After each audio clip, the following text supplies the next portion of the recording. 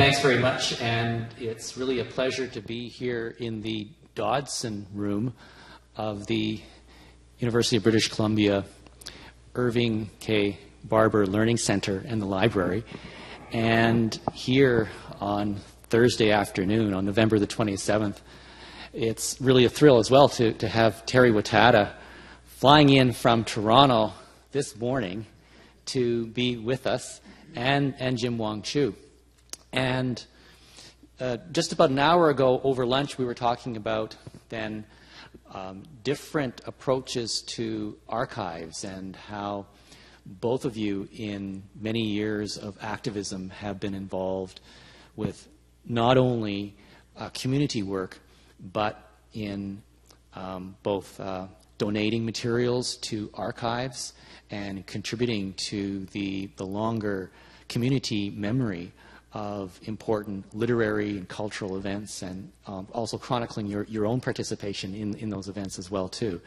And so I, I wanted to start off by discussing the uh, importance of archives in your work and the, the types of, of challenges that you found in compiling these special collections that arise out of your own collecting, uh, but also in your attempts to locate other materials that can be contributed to, to archives.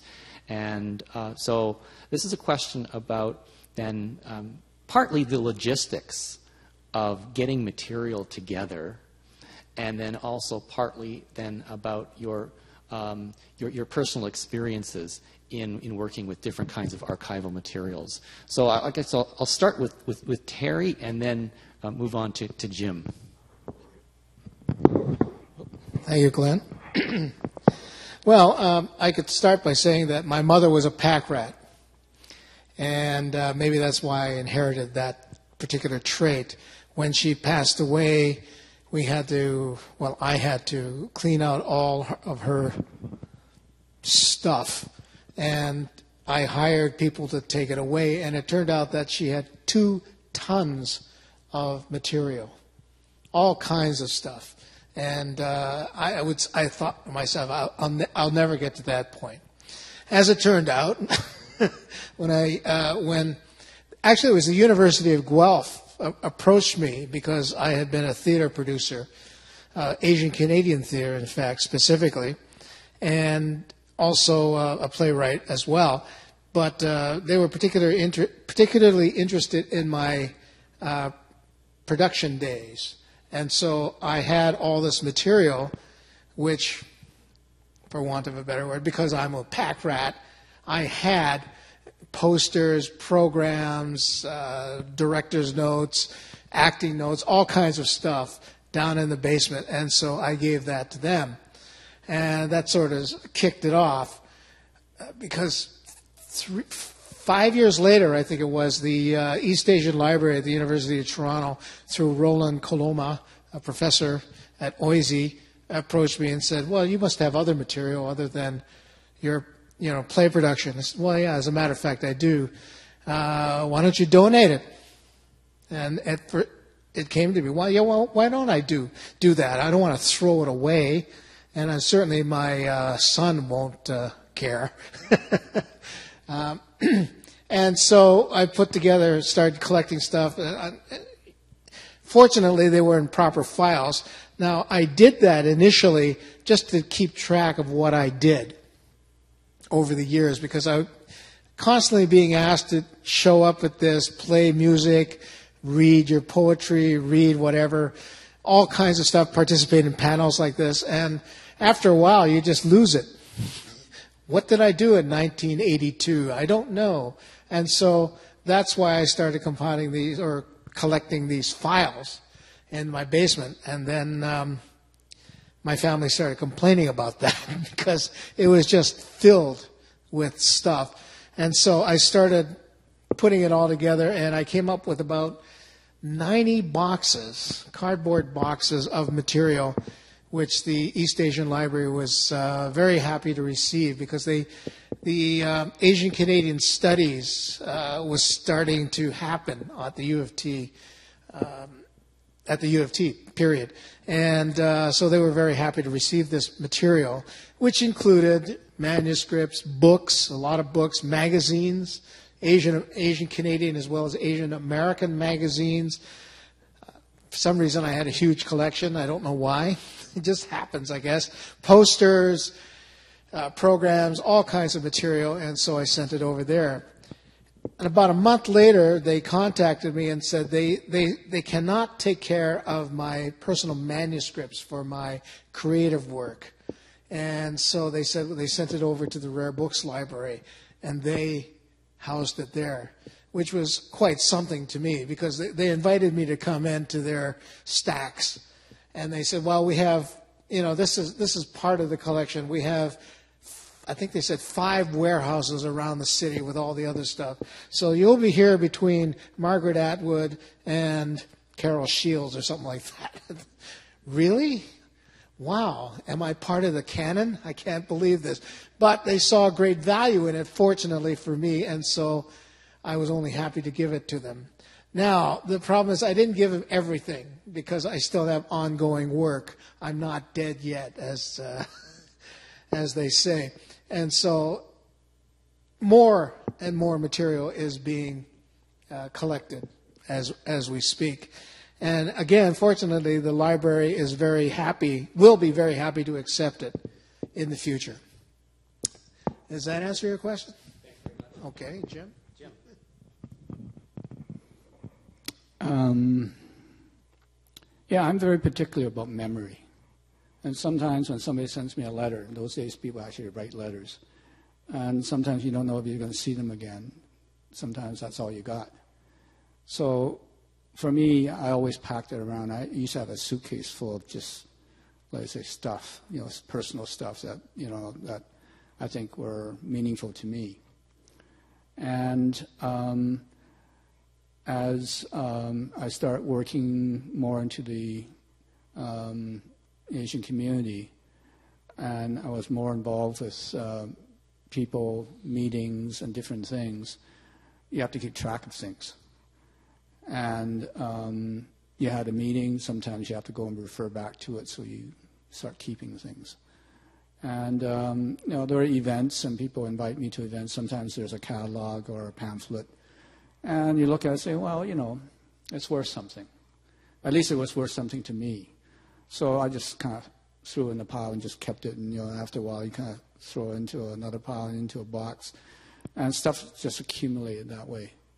And um, you, you just get into a habit of doing that because at some point it might be important.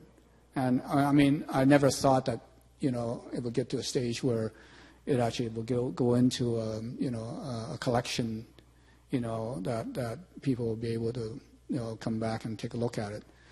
But um, I always thought that, you know, because it was kind of, it came also from this experience of seeing how much stuff was thrown out.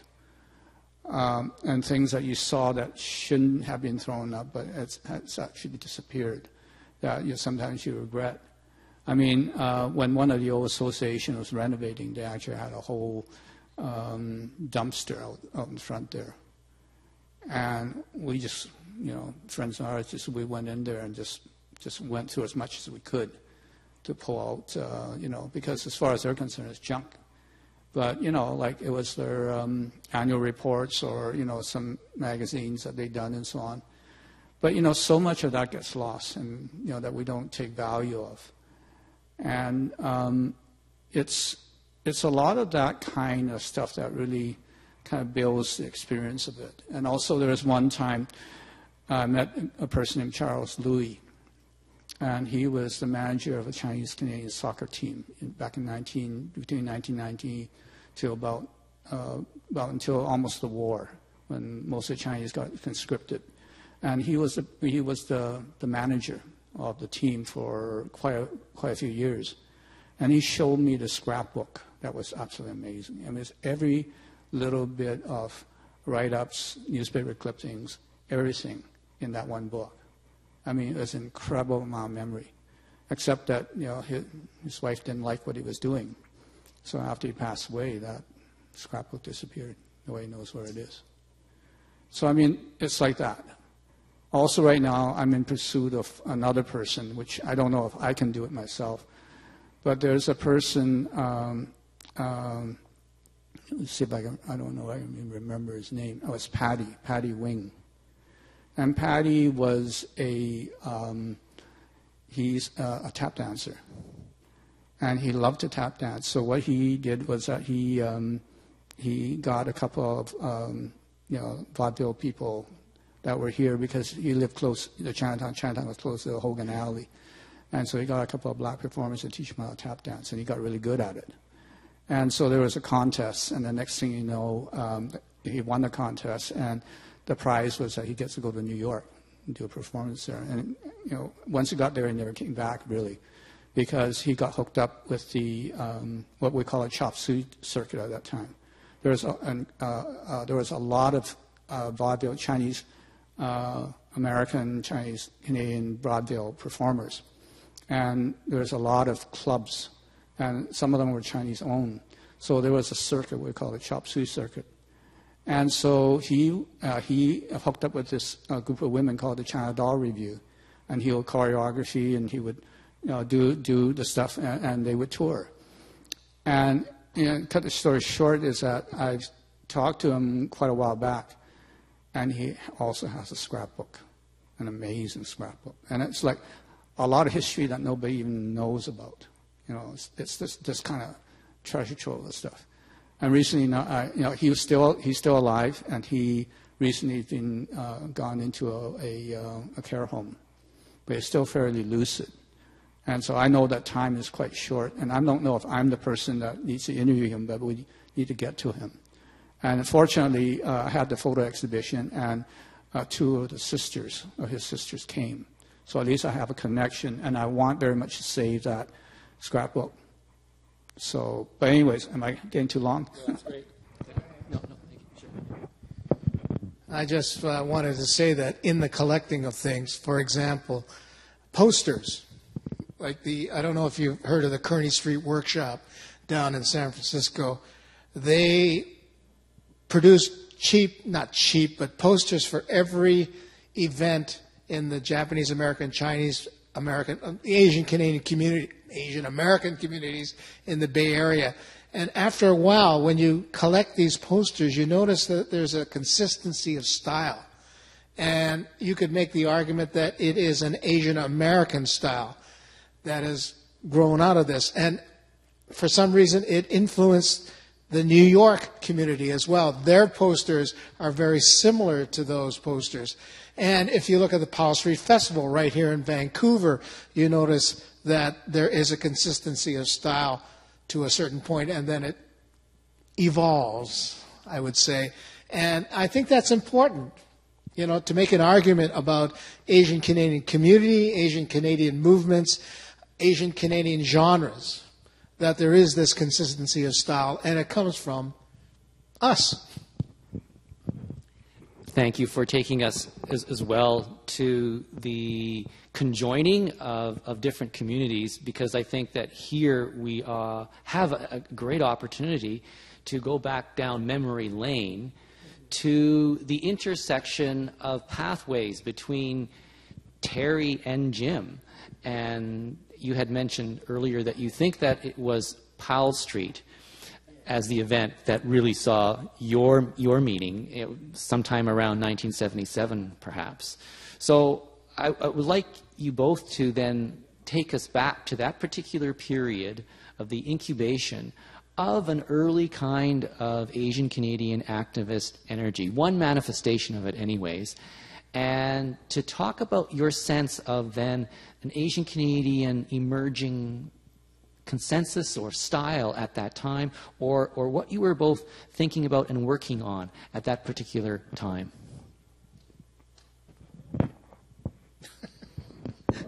okay. well, I think my, um, I guess, introduction to uh, activism, I guess, started in 1970 when uh, just before that I was in a group called the Asia Miners. We were a top 40 uh, Asian Canadian rock band in Toronto's Chinatown and into all over the city. And in 1969, 1970, it broke up. It was the that was it. The the Beatles were dead, and so so were we. And I I, I love playing music, so I, I had to do something. So at the time, there was the rise of the singer songwriter, and so I started. Well, I should play original music because the Asian Miners did not play original music, and uh, I started writing songs. And so the first well, the, the first rule of songwriting is, you know, write what you know. And so, but what did I know? I didn't know anything about my background. I, I thought, you know, I thought we were from Japan and we flew right to Toronto and that was it. But there was this whole thing about Vancouver and the war I had no idea about. And so that's when I started asking my parents. Actually, the first question I asked my mother was, How did you meet dad? Where did you fall in love? and she called me a baka, which means idiot in Japanese. And you don't need to know that kind of stuff. But eventually, they started talking about it, and they were actually uh, married, married through an arrangement, which shocked the hell out of me. Anyway, uh, I wrote the song New Denver in 1970, which was about the internment camps and my parents' experience with those camps. And it got the lyrics got published in the New Canadian, which is still going at that time from the war on, and out of that, uh, the I guess the editor of the New Canadian, or was he assistant editor? I can't remember which. He formed a group, a so-called rap group, and I don't mean in terms of music. Rap meaning that everybody gets together and starts talking about issues. And that's uh, Alan Hotta was started that, and we started talking about things like racism, identity, uh, the Second World War, the internment, everything. And out of that came this whole thing about the 1972 Asian Canadian Experience Conference, which was the first Asian Canadian uh, conference in, well, in Canada and it was held in Toronto. And we brought people from Vancouver to Toronto, and that's where I met all the people that I know. Well, not all the people, but most of the people I had met uh, in Vancouver.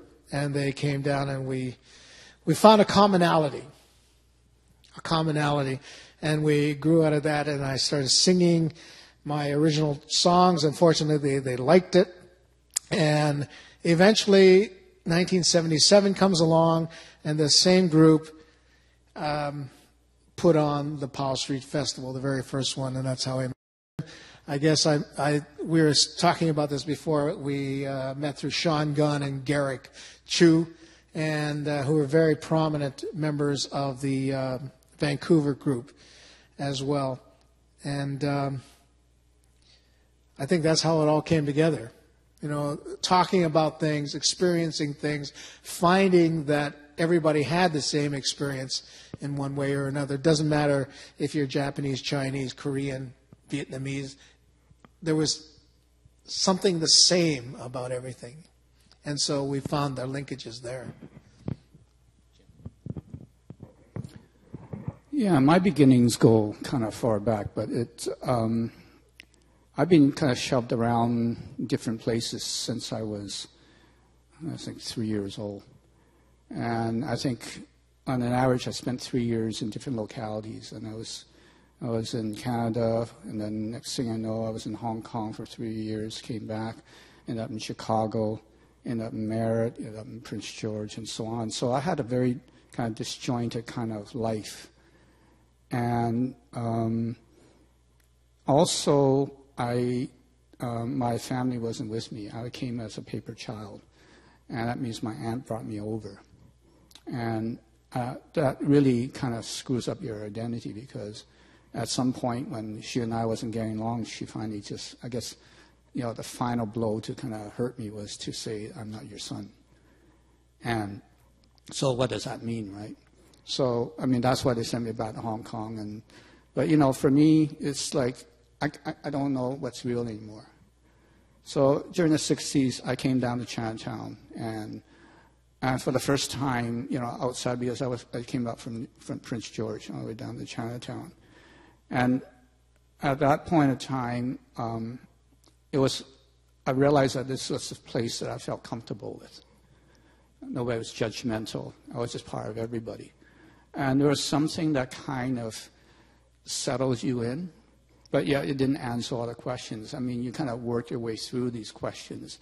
I think everybody, you know, and, and, and something that we were talking about just uh, recently was this idea that we went through this whole, you know, whole um, thing about identity.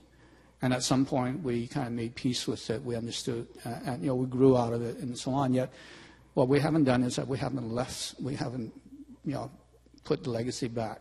So all these new generations of people are coming through are undergoing the same problem of this identity without actually understanding what it's all about, and we're, we're not there to teach them. So I think I, I realize it's incumbent for us to actually to talk about, you know, what happened, in our experience, uh, what we went through, what was the spark, why, why do we behave the way we are, you know, what, you know, what makes us the way we are, and so on. But um, I, I, mean, I was a, quite a in the '60s. I was a, in my early 20s, and I was a very angry, very bitter, um, you know, self-loathing kind of person. Not very likable, but. Um, it was during that period that uh, I think we were talking about uh, Tanaka. Is it Ron Tanaka? Ron Tanaka. Uh, he somehow ended up in Uni- University of British Columbia, and he was teaching, I think, English with a whole group of uh, uh, people that we know now know about, like Paul Yee, um, uh, I think Sky and and many of the people that you know, Sean. Um, you know, there's a whole group of a whole generation of people that and he, he was affect, you know, affected by what was happening in Asia America, and he came up from California to teach. So he brought a lot of that kind of uh, verbose, but also a sense of that you guys need to know about yourself. And uh, the first time I realized that was when they came down to Chinatown and put together an exhibition of, of Chinese Canadian history, an actual you know, boards with information and so on. That was quite curious to me. And, but at the same time, um, I um, took a job at the BC Ferries, and the job uh, allowed me to, to work for two weeks and get two weeks off. So I had two weeks uh, free every, every month. So uh, I spent that time. I, just, I met some friends in San Francisco, so I, every two weeks I was in San Francisco.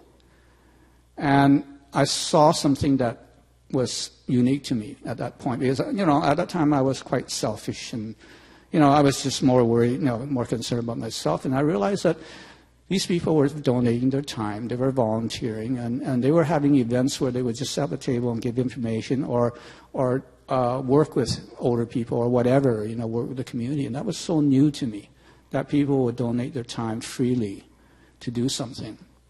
So when I came back to Vancouver, that was some of the things I brought up for argument. You know, we would talk about it. You know, uh, a group of our friends uh, would you know, sit in the, in the Chinese know, cafes in Chinatown, and we kept talking. And you know, we're belly aching. What if? What if? Why, you know, why are things the way they are? You know, and then you ask, well, what if we can change it? And then what if it's up to you then? Because it becomes why not? So somehow you have to take responsibility. You can't just validate, you can't just talk about, it, you have to do something. And so that's where my activism began.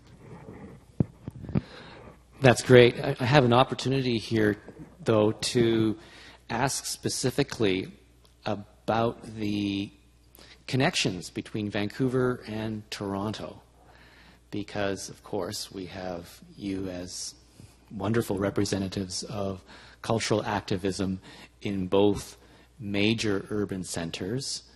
Both cities have distinctive claims to cultural status. They're, they're centers of publishing and artistic activity in this country. And it's interesting, I think, to, then to speculate about some of the similarities and, and, and differences. Um, certainly, Jim, you referred then to the proximity, in a sense, to San Francisco and the cultural influences of the West Coast.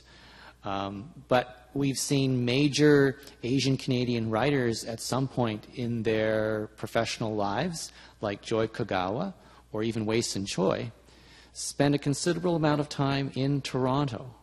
So I, I thought I'd ask then about then some of the uh, some of the linkages between this West Coast city, Vancouver, and its Asian Canadian cultural um, activity, and, and, and Toronto, and, and what, what is distinctive about then the kind of Asian Canadian energies that we see in these cities, and about the possibilities and what has happened in the past, but also you know, possibilities for uh, thinking about the connections between these two cities as seemingly distant as, as, as they are. Terry. Okay, I think it uh, again goes back to Professor Ron Tanaka because he influenced so many people. One of them in particular was Alan Hotta, who was a uh, sociology major at the University of Toronto, and he graduated and couldn't find a job.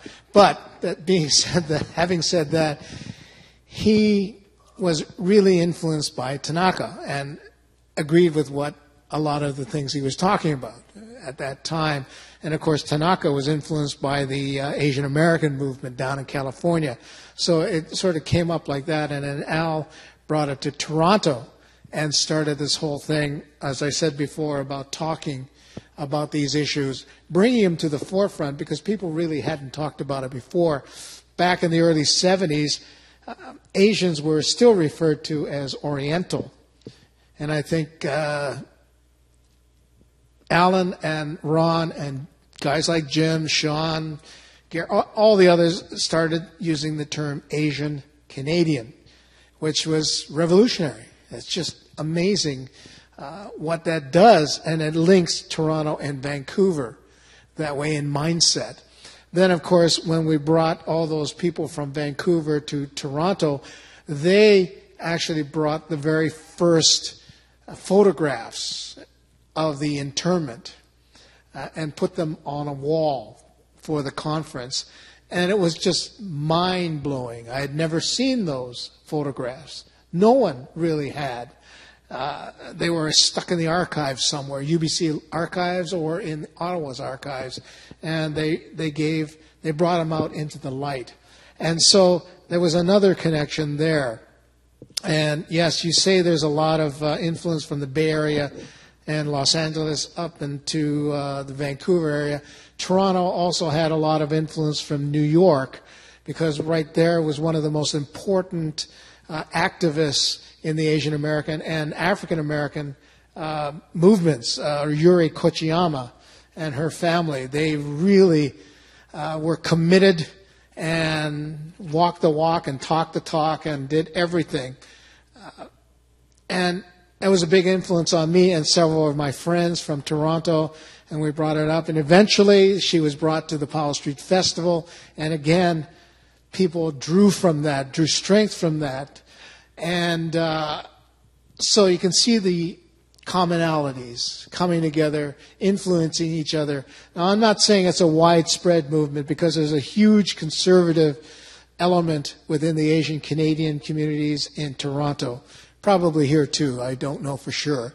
But there was always resistance, always fighting from between the two groups.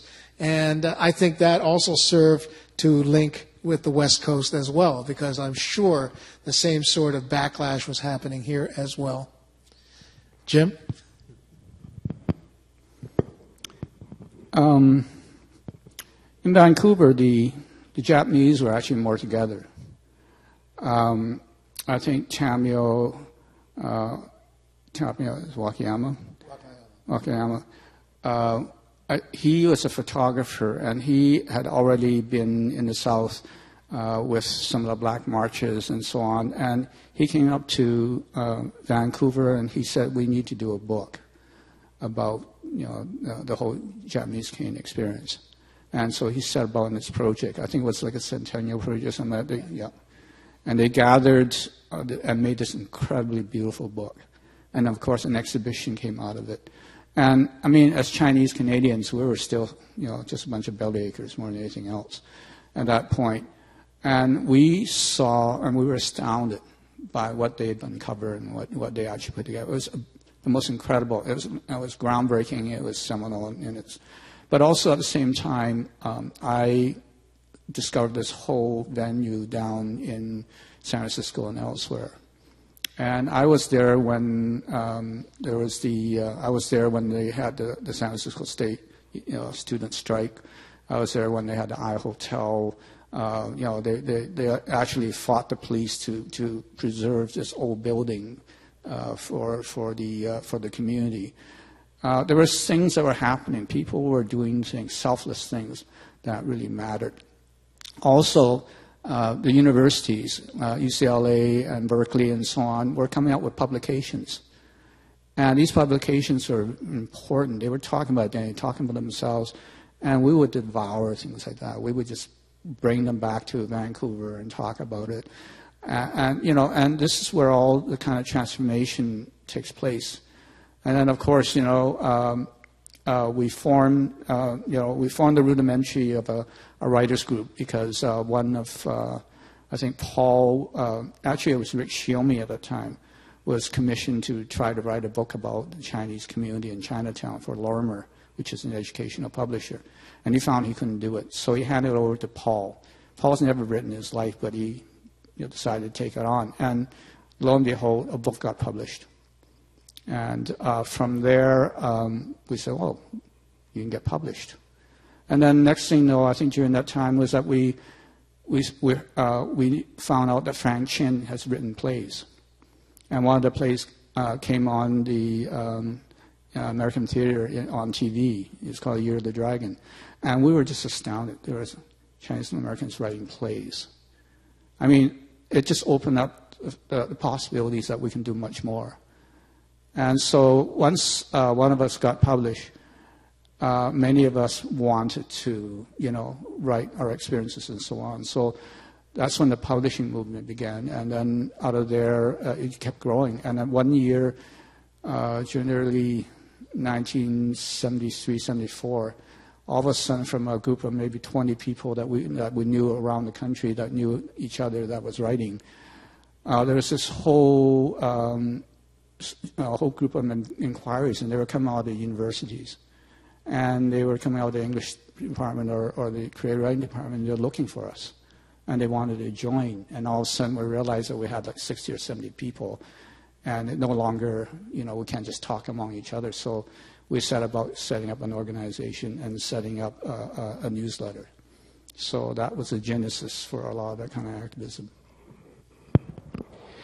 Thanks very much. I mean, I wanted then to talk about how these workshops had then fostered certain types of genres. Certainly, the, the Asian Canadian Writers Workshop has, over the years, it has sponsored an emerging Asian Canadian writer, and over the years, it has certainly uh, helped with the um, the writing careers of uh, people like Madeleine Thien and, and Rita Wong, um, fiction writers and, and poets, respectively.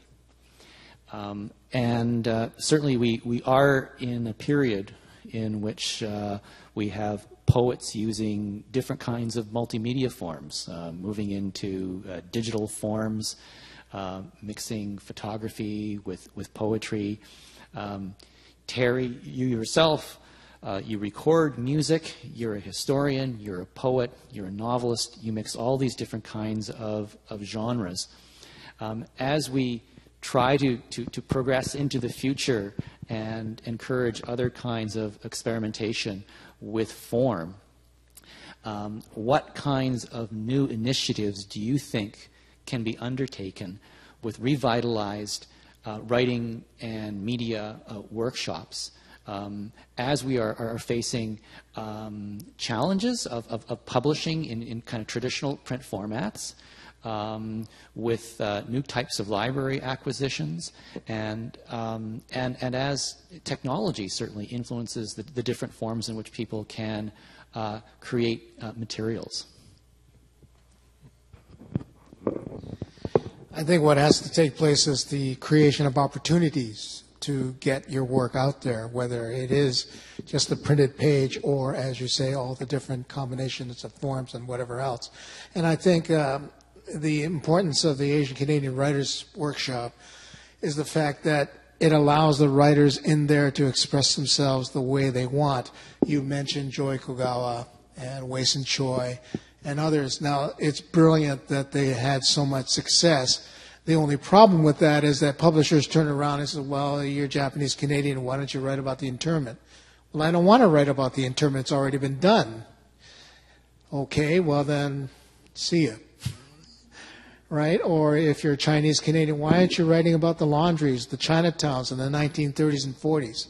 Well, I don't want to write about that. I want to write about the contemporary Chinese youth, Chinese Canadian youth. And they said, well, okay, then find another publisher. So when you have the Asian Canadian Writers Workshop, and you can advocate for these writers and push them, and whether they want to do it uh, mixed with film and uh, you know the the internet and all these other things, it doesn't matter, right? As long as you can create these opportunities for these people to express themselves the way they want, rather than at the um, I mean the whim of the publisher even though you know they are starving for new material and whatever else, they will come at you with this sort of stereotypical uh, uh, outlook on what they should be printing, what you should be writing, etc. etc. That's my two cents worth, by the way. Uh, and so, yeah, I think that that's that's what we have to do. We have to advocate for these people, for the new writers and new forms. Jim? Well, the earliest group of us that published, um, SKY Lee, Disappear Moon Cafe, Wayson Choy, um, you know, Denise Chong's book, many of these were confessional. And the earliest writings, I think the earliest writings that we all do somehow is confessional. We're writing about ourselves, we're writing about our past, trying to dig up and learn about what happened to us and, and, and writing about it. And it's fortunate in some way that these books first came out because it established a canon, but also it, um, it created such a strong and powerful uh, voice of what, uh, what we needed to know about ourselves. I think that was there at that time. But also, what was happening with us was that when we first got published, we were the only ones. And I, you, are left a choice. You can either shut the door, close it, and just make a career for yourself, or you do something about it. And so many of us decided that we wanted to change that. And instead of, uh, of looking for opportunities, because when we got published, we were given opportunities, and they were serendipity. You know, these opportunities just came, and and many of us uh, that got published, we won awards first time, and surprising. You know, we still haven't found it, but, but we deliberately decided to change the equation. So the Asian Canadian Writers Workshop was set up to help young writers publish. We want to create a literature. And so for the last 20 years, that's what we were working so hard on, to actually to give as many writers the opportunity to publish. We learned the whole publishing game. We learned to almost act as an agent uh, we, we help, we help uh, writers through the contracts and, and you know, just give them all the tools they need. Because most writers, the most difficult thing is to get the first book out, uh, to get it to a publisher, and, and so on. And we realized that we couldn't leave it by chance. So we had to make the effort for people. About 10 years ago, we created what we call the Emerging Writer Award. And at that time, there wasn't a lot of writers getting published, Asian writers getting published. And every season, there was a fall season, a spring season. We thought, and we would look, anticipate to see if there was an Asian writer at all, you know, and we'd cheer if there was one or maybe two. And so one of our directors said, Jim, at least let's try to make, at least try to guarantee one writer a year.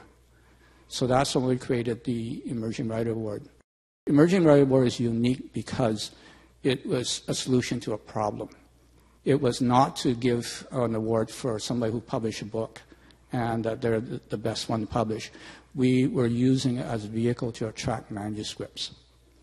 And so the best manuscript is the one that we choose. We'll give it a name, we'll give it the award, and help them get, uh, you know, get a jump start on their writing career. However, the other ones are mature and reasonably good, we will work with them also to try to get them published. because our main aim is to get as many people published as possible. So sometimes you can't leave things a chance. You have to find a way to do that. And now we're in our 20th year. Next year is our 20th anniversary. And we are now looking at the second generation writers.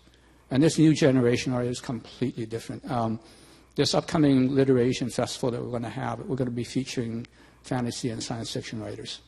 We're going to bring together a whole group of people that have been writing this genre that nobody's heard much about. And uh, you know, some of them are very, very successful. There's a woman named Lorna Suzuki.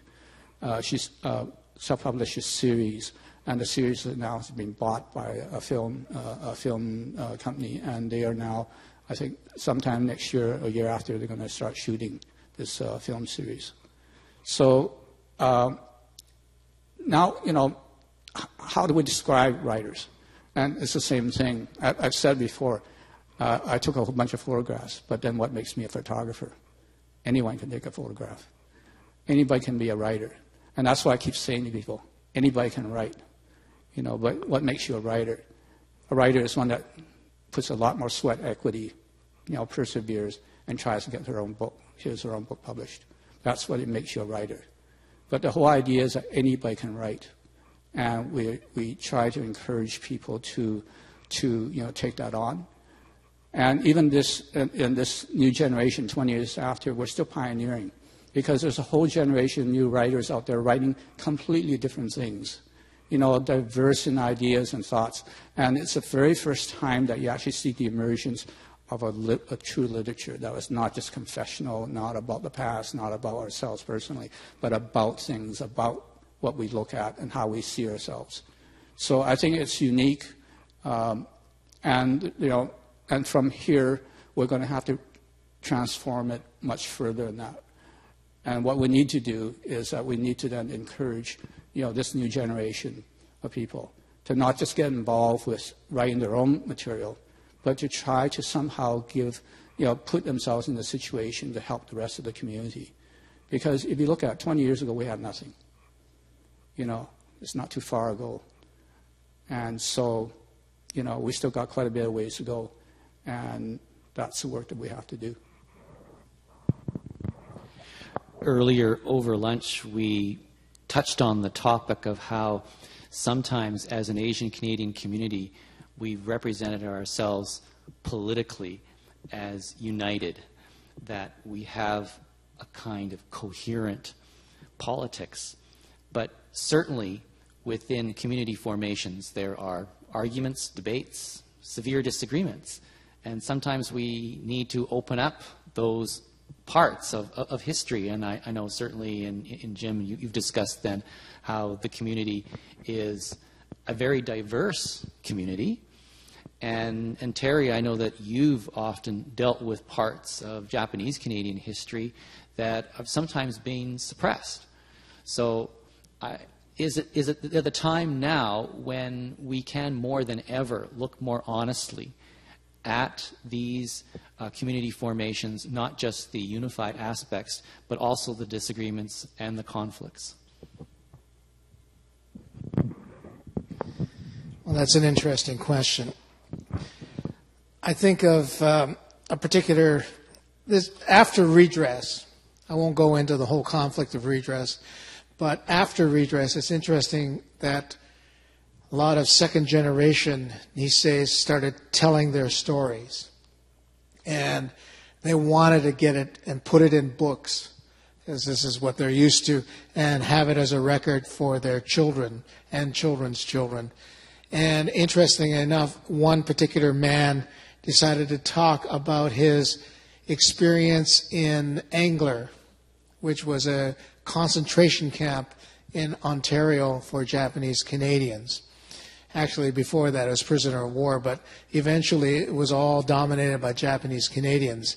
And these guys in there, because they were put into such a severe camp, turned around and said, We want Japan to win. In fact, Japan will win in six months. Of course, they were wrong, but it's interesting that in his book, in his manuscript in Japanese, he was pro Japan, waving the flag, hated the Canadian government. And he talked about all these secret things. I mean, I had never heard of these things. The riots at the uh, immigration building in uh, in Vancouver in the 19 in 1942 at the uh, top of Burrard. I think it was Burrard. Um, anyway, it's it, it's there in the book, and all these sit down strikes in protest of the war. You never, never heard about the resistance movement uh, from anyone. And he put it all in this manuscript. Now, as it got translated, he got cold feet. And he said, I don't want it published. I don't want it out there. I want everything back. I'm going to rewrite it.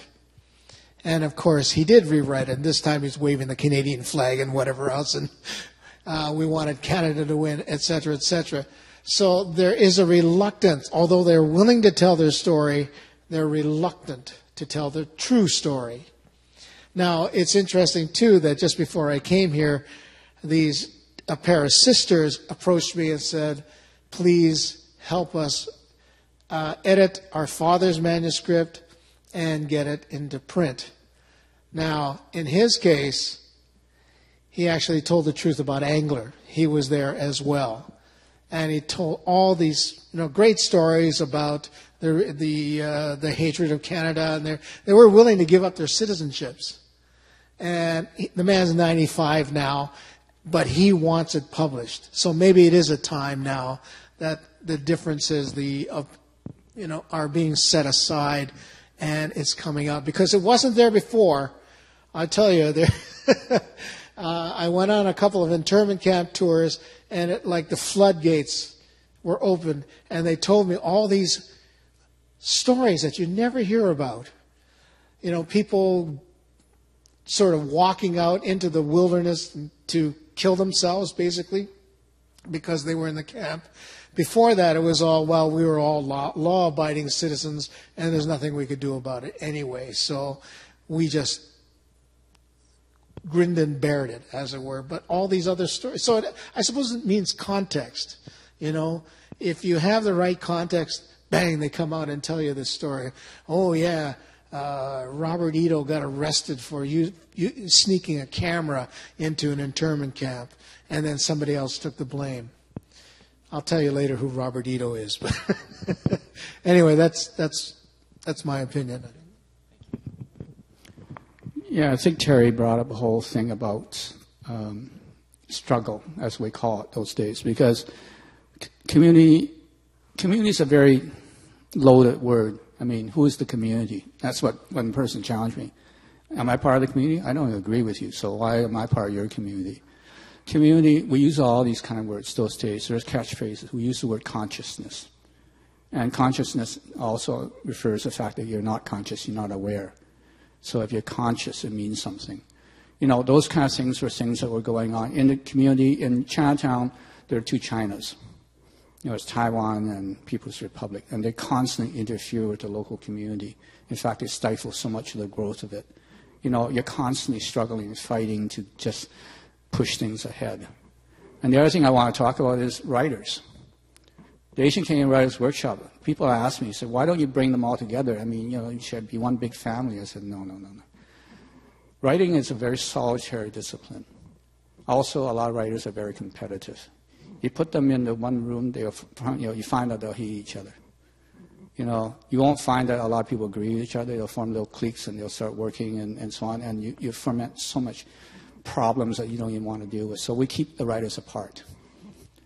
That's how we, we keep peace among each other. And that's the way life is, you know. Life is never pretty. And, but, you know, but somehow we kind of create a, a kind of template. We say, we don't ask a lot from you.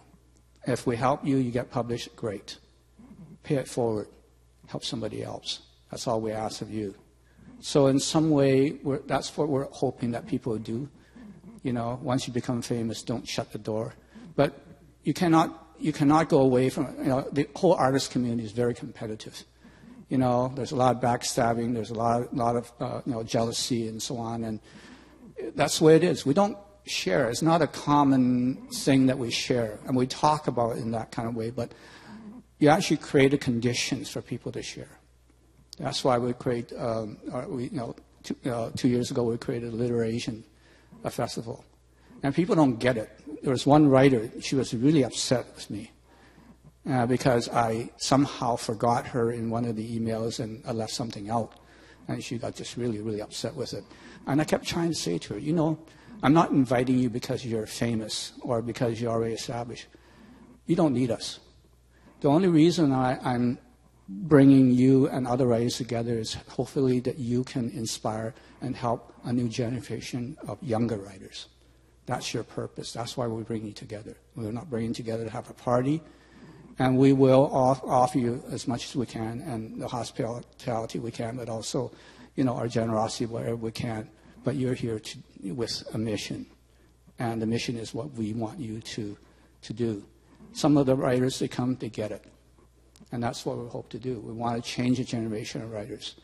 And we want to change the way people behave towards each other.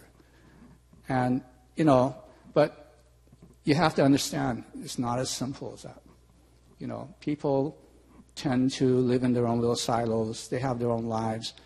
You know, reaching out sometimes, yeah. Uh, there was one, I think Bing Tama used to say, you know, the only way you can get a group of people together is you create a crisis.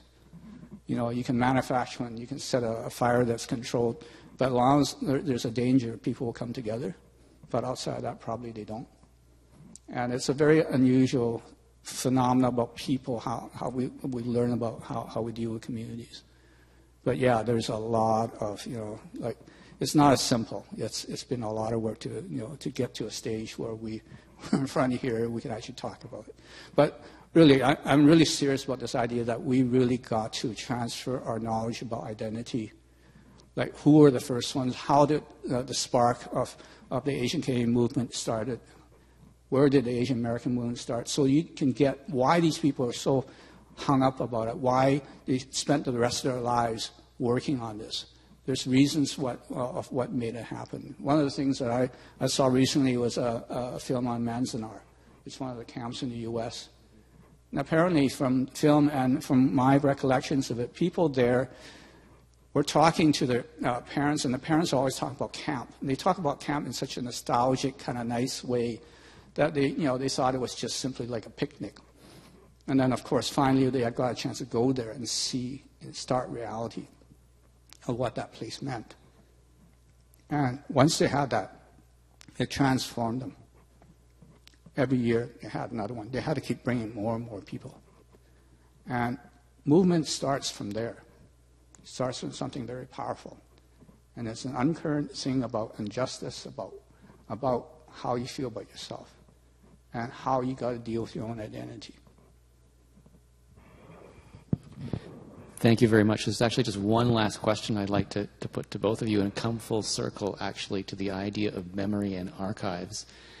And both of you who have now made major donations to special collections, as you have gone back then through the process of, of donating your, your collections and you've sifted through this material, what would be uh, perhaps one thing that stood out in your collection that perhaps surprised you as you went through that collection that in some ways triggered some kind of well, thought or perhaps even an angle of, of seeing that, that you hadn't thought of before, that actually the process of collecting this actually began to, to put things together in a, in, a, particular way for you. So, and, and, and, turned you into kind of like the, the self-conscious archiver of, of your memories in some way.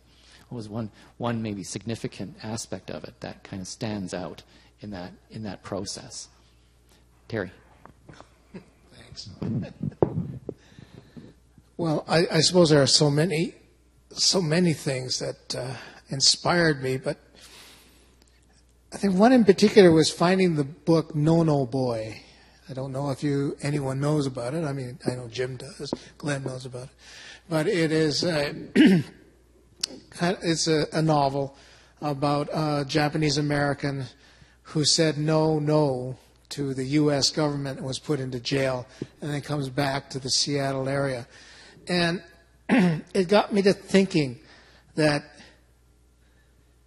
in this book is the essence of what it means to be Nisei. And that was it. What is it that makes Sansei, Yonsei, etc., Chinese Canadian as well? What makes them Chinese Canadian, Japanese um, Canadian, American? In No No Boy, it's there. And I've, I've seen it come up time and time again. For example, I told you about the James Shigeta movie in Crimson Kimono, where he plays a Nisei detective in L.A., and this was made in 1960. it's a Hollywood movie. It's amazing. And he actually gets the woman, a white woman. And the last shot is of James and this woman kissing in the middle of the Nisei, Nisei Week parade in Los Angeles. Now, the essence of that, I mean, that, apart from that, is that James Shigeta played this Nisei guy trying to find out what it meant to be Nisei in America in the 1960s, just after the Korean War.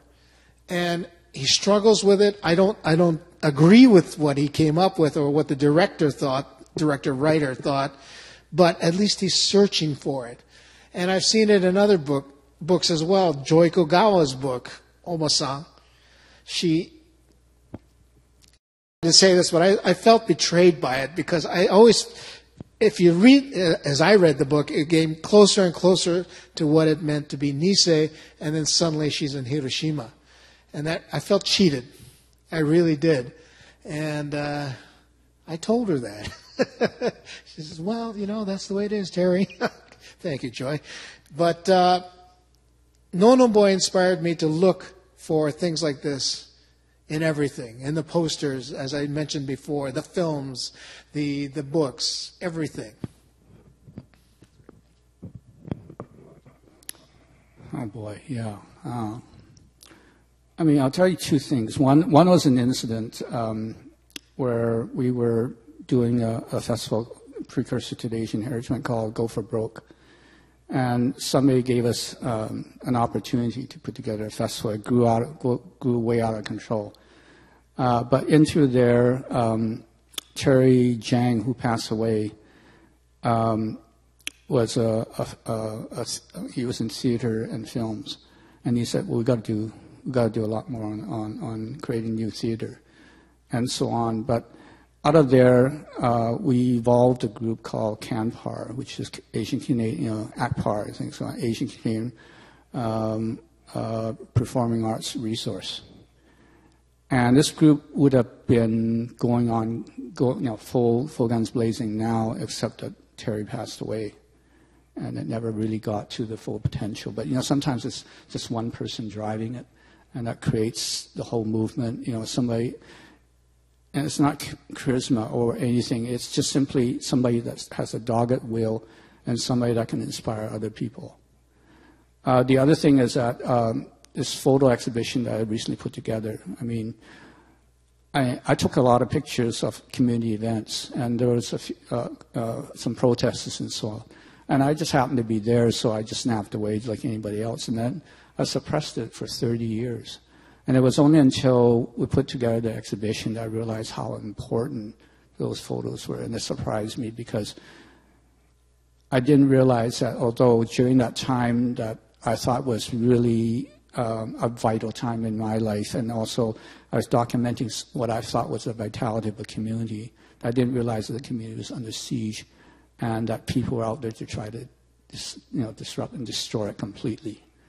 Um, and then once I understand the history behind it, I realize why.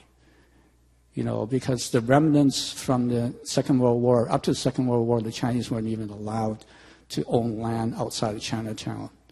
And then into the uh, late 50s and 60s, they were trying to expropriate the whole area and kick everybody out.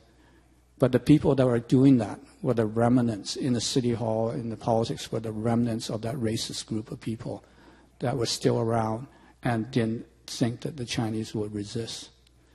And it's because the Chinese community came up and resisted that we managed to preserve our dignity and actually have, you know, have much of Chinatown, you know, saved.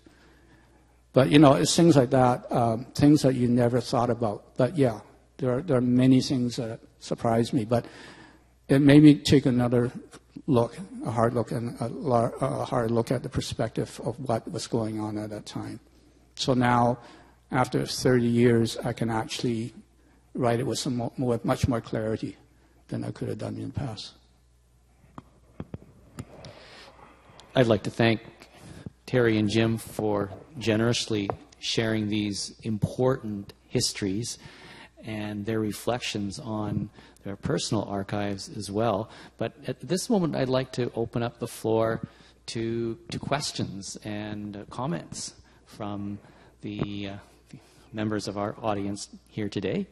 Uh, so uh, please, if you have anybody here who'd like to uh, raise a question or, or make a comment. Thank you. Uh, do I have to stand? Okay. Um, as a Torontonian Vancouverite hybrid, a young activist and a professional archivist, this was very uh, interesting for me. So thank you very much for um, sharing your comments. But the one question I have um, is a little bit broader, I think, and uh, I want to know, as individuals deeply embedded in the Asian Canadian communities, um, I'm wondering if you can speak from your point of views on the future of Asian Canadian communities, uh, what you hope to see, and perhaps what you expect from the younger and newer generations.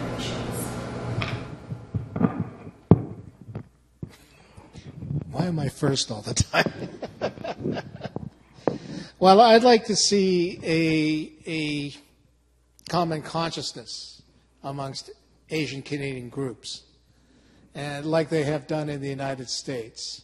I mean, I would like to see it grow stronger and tighter between the groups. And that would be a really good future, I think.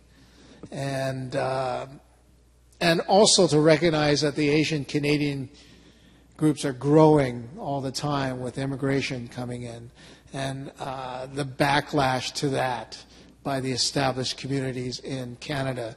What can be done to counter that?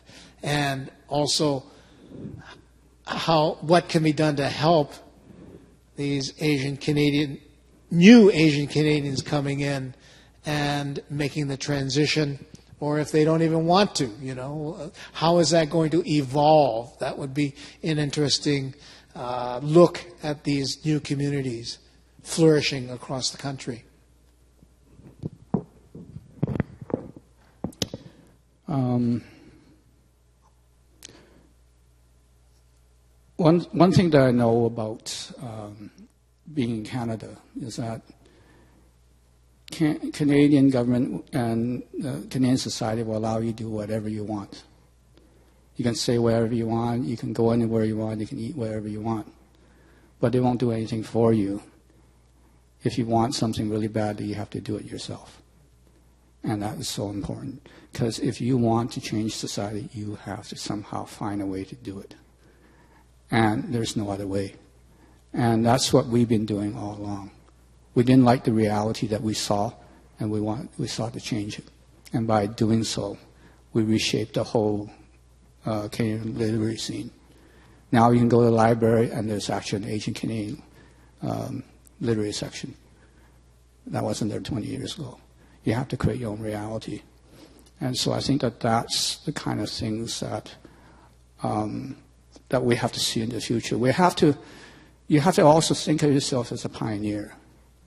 Everything that we do is new. You're going to be covering new ground. What we don't want you to do is not cover the ground that we cover already. But there are ways for people to connect and find common ground. Um, we have now a generation of people teaching each other. You know, you have Asian Canadian writing courses. There's also something in the horizon that's very, very important. Because there was a Chinese uh, apology from the uh, provincial government, um, what has happened from there is that the community spoke out loudly and said, we want to uh, have change in curriculum because unless the public education system has the history and talks about ourselves, there's no way we can learn about it. And uh, Christy Clark has stood up in the legislature and said, yes, we will do that. However, just because she said it doesn't mean it's going to get done. There's a lot of resistance. The whole education ministry doesn't like change. They'll resist you. So there's still a lot of work to be done. I mean, uh, for the future that I like to see in the next three, five years is that curriculum changes and Asian Canadian uh, minority history and, you know, you can actually go there in, in you know, in uh, K to 12 and actually learn about yourself. So curriculum, uh, education is very, very important because most of the kids that are coming out of school really don't have much knowledge about their past. And that's really why, why there's so much problems, why it's so hard for us to work within the community. It's only during the time that you're in the universities that you actually have a chance to open yourself up and learn about this. But, you know, you're, you're in the minority. We got to change it, and we got to re-educate the entire, uh, the entire society. And so that's work that's incumbent on people like me, you, and anybody else. You have to be conscious of it, and you have to go out and be aware of it. And You've got to find every opportunity to support and change it. And you know, you guys are, you know, you guys have an educational faculty. You guys are into all this other stuff. People create curriculum. Well, that's where we're going to have to start looking into and start pushing. And I would just add, add briefly that I agree with Jim that we need to sustain this work and can never take human rights in a democracy for granted. That that we it's not uh, actually something that exists on its own, but through the conscious efforts of, of people to be willing to participate in a democracy. And I think that uh, the the defense of, of rights, uh, the uh, the criticism of um, certain types of inequities uh, always must be uh, something that, that, requires a lot of vigilance. Uh, another question? Thank you, Sue. Hi, uh, my name is Sue, and um, my work has been focusing on a lot of like intersections between um, different racialized groups. And uh, the past few days, I've been thinking about the question of anti-blackness how, as um, Asian Canadian, or I'm not actual Asian, but as um, a racialized subject, how do we articulate or address other forms of racism or colonial violence that's not directly um, pointed to uh, an Asian person or uh, Asian identified uh, group of people, and how do we articulate that solidarity, uh, either through our individual work or activist work, scholarly work, or creative work. Thank you.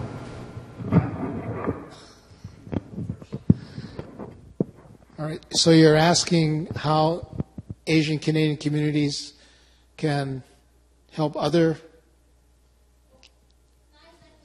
I think help is a really loaded verb, but um, how do we uh, show our support but without taking up too much space, right? Yeah, it's a very good question. I think in the Japanese Canadian community, there is the political group, the um, National Association of Japanese Canadians, and they do um, lend their support. They don't take charge, but they will lend their support. They will send letters of support, of protest, if you will, uh, for various groups. And uh, this does fly in the face of the conservatism that I talked about before, who would never get involved. I mean, I remember running or helping to run the uh, Earth Spirit Festival, which was a collaboration between the Japanese Canadian community and the Native Canadian community in Toronto in the early 90s. And I swear to God, I mean, I, I really applaud the NAJC for getting involved in that and setting up, you know, lending a hand. Get, uh, I wrote my first play for it. I did music for them, and all sorts of other Japanese Canadians got involved. But it was supporting them. But that other conservative group just said, "Well, it's Native Canadians. We're not getting involved. They're just a bunch of drunks," you know. And so it would take the our the NAJC and other, you know, uh, participating groups to tell those people you should be ashamed of yourself. You know, you're stereotyping. Who the hell do you think you are? Remember when you were the enemy of the people in 1942? Constantly reminding people of where they came from and supporting other groups in their fights, if it is a just cause. That's my answer. Yeah, I also helped start um, a group called Asian Heritage Month here.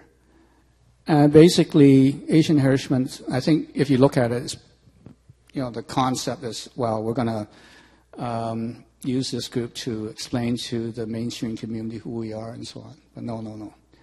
We start off with our own communities.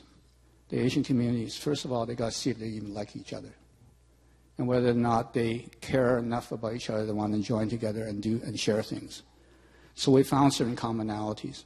We found that there's a lot of old world politics, a lot of old, old world uh, hatreds. If you start putting them into you know, into play, nothing happens. You know.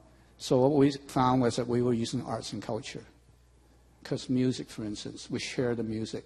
A lot of the instruments that, uh, that are used in Japan, China, and elsewhere originally came from uh, the Middle East.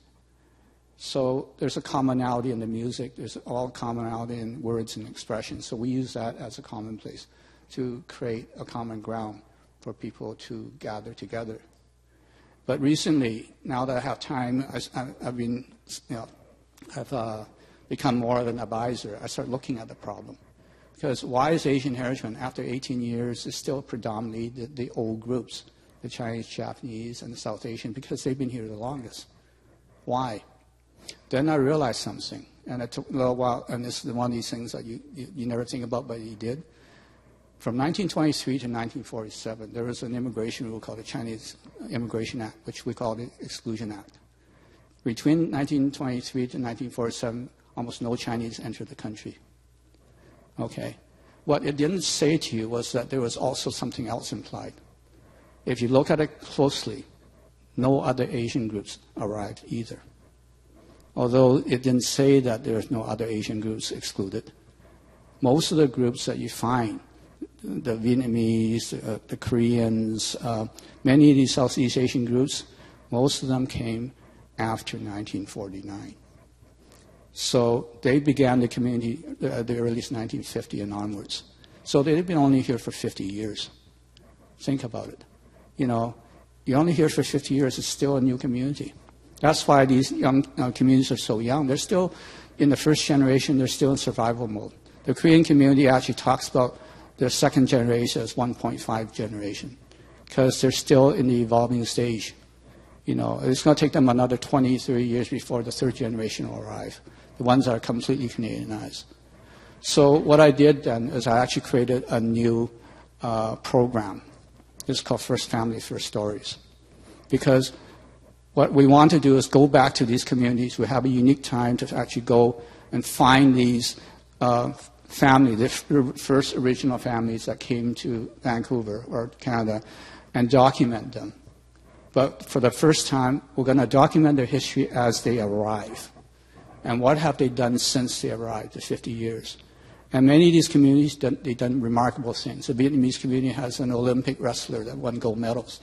You know, each community has done some remarkable things since that time, but they have to, we have to help them begin to document and, and come and recognize a history that starts from the point that they arrive in Canada, a Canadian history.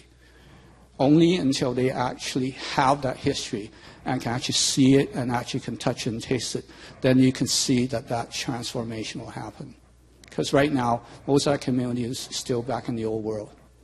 You know, most of them still reading old, you know, old newspapers. So, but that's things that we're working on to try to change. We have a question here from Chris Lee. I'm going to somewhat contrarian question, so I'm going to preface that by saying I, I really appreciated your long-term, both of you, the work that you put in building Asian Canadian communities and also your dedication and commitment to working in the educational field around this. This is really important. I'm going to say this because I'm going to ask a, a contrarian question, which is that it seems to me that the context for talking about Asian Canadian identity and culture here uh, assumes a sort of immigrant and integration kind of mode. And, and, because we're talking about generations of settlement, right? And so certain groups are here longer. I mean, for a lot of Vietnamese people, we're talking about a refugee migration for some, you know, which is not a same kind of, you know, uh, immigration pattern as say Chinese Canadian, Japanese Canadians. We're talking about also a emerging Asian Canadian communities that are here because of guest worker programs, you know, that are legally problematic for all sorts of reasons, right? And so I, the question I would have is, um, could we argue that Asian Canadian, in fact, doesn't allow us to recognize this kind of diversity because we assume certain kinds of patterns of behavior. So, you know, in, in response to Sue's question, and I'm thinking about Terry's response, what happens when Asians are in fact uh, oppressing other groups? They're not just in solidarity with other groups, but in fact Asians are complicit in the oppression of other groups, right? What, when, you, when it's not simply the Asian that's being oppressed. Or what, what happens when we have globalized subjects, as many of our students, who aren't necessarily thinking of settling in Canada. You know, this Canada might be one step along an international circuit, right? People are going back and forth. Um, and I, so I guess on one hand, I'm asking, is Asian Canadian big enough to envelop all these sorts of stories without trying to kind of move us toward the settlement question? Or is there a moment when we have to say maybe Asian Canadian isn't the right story anymore, or Asian Canadian isn't the right narrative anymore? So this is meant to be provocative. I'm asking you to think about the limits of this, you know, rich history that you're outlining for us. I refuse to answer that question. no, I'm only kidding. Um, I think the term Asian Canadian is, if you will, big enough to um, encompass all that. And I, I, I, I, go back to No No Boy again. There's a key line in there that the, the writer John Okada says that. Uh, it's an example of the oppressed oppressing the oppressed when uh, African American uh, teenagers basically uh, brutalize him. And uh, I think on that level, you know, there is a recognition that there is a continuum, an evolving. Uh, I mean, I couple that with uh, Banana Boys, which was not about the immigrant uh, experience. It, it's about going to college, right, or university. Sorry, America they call it college, but in Canada, these fellas in their 20s go to was it Waterloo? I think Waterloo, yeah, and we we see their experiences, and that certainly isn't immigrant experience, but it's embraced by the Asian Canadian community. I mean, not entirely, but because they don't know about it, but segments of it. And like I've heard certain generations of them say, well, I'm tired about the Chinatown stories. I'm tired about the Korean church stories. I want something that reflects me. And I think it's wonderful. I think it should evolve like that. I think it should bring in other groups and uh, experiences. Jim? No, I think the word Asian Canadian has to be all encompassing. If there's a concept that isn't all encompassing, then you failed. It's very important that it does. But um, the way that I look at it is that, like, eh, you know, you have to see it as an overseas diasporic experience. You know, uh, the new immigrants that arrive here are no different from the immigrants that came in the past or in other places. The first generation is into survival, and they are there. They have already made certain decisions and certain sacrifices to come here. And so for them, all they need is propagate the species and also make sure that they have the you know, desired education and the knowledge to be able to, to deal with it in the second generation and third. But by the third generation, they're going to have the same problem over again because that generation is going to be English speaking mainly and probably have never gone back to the homeland. And so that identity thing happens all over again. You just have to be patient. You know, the, you know, the, the, now right now we're talking about the PRC, you know, mostly people from China. And they don't care right now. And in fact, I excuse them more than anything else because the Cultural Revolution wiped out all the culture and history. And many of these people are probably more vacant than we are.